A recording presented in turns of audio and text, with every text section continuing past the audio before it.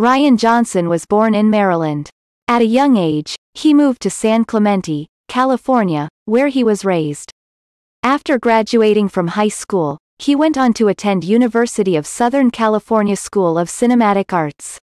His first feature film, Brick, was released in 2005 and was the building block, no pun intended, that launched his career. He is a director, writer, and musician, among other skills.